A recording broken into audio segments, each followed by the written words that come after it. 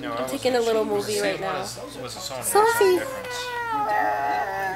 Really? Who was that? Who was talking? Her. Was it you? You talking guys. about your cousin? He did the opposite of what Obama Hey, did. guys. Ronald Reagan crafted an agenda that Oh, that's a good one. Aw. You can put the, all the he flashes to your a whole new class of voters called the Reagan I don't know if it's turning out good. Look at her, look at him. There's today Tootie right said, "We're gonna talk It's about way too bright. talking about Yeah, that's the only bad thing about this. 18 months. But still, on a daily basis, the Can economic you look up, Rita? there's no improvement right now in this economy. We have the You just want to look at those growth. fishes. Let's get these out of here. These are cheaper cameras than I used to sell them, but they work. Babies! Braden don't care. He's like, I'm looking at my feet. I know.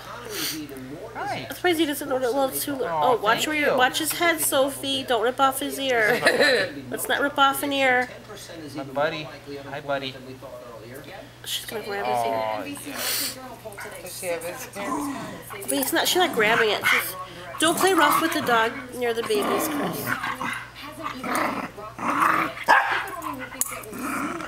Look at Braden. You he's watching me. A